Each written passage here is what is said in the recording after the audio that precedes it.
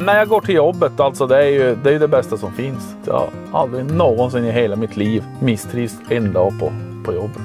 Det är väl det som är själva grejen, att hitta sin passion oavsett om det är måla tavlor eller om man vill bli Youtube-stjärna eller sortera potatis eller köra lastbil eller köra grävmaskin. Så huvudsaken man hittar det man brinner för. För det är ju så mycket timmar du ska tillbringa på, på jobbet. Så misstrivas, det är livet för kort. Med tanke på hur roligt det är att köra så fattar jag inte att det är chaufförsbrist i Sverige. Det är så fruktansvärt intressant, roligt och det händer så mycket i alla transportbranscher nu så att det är, det är inget att tveka på. Jag skulle välja det här yrket alla dagar i veckan.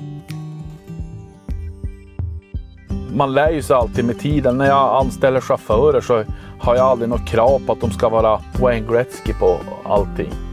Utan har man drivet, har man intresset, vill man och brinner man för det man gör så kan du ju lära dig vad som helst.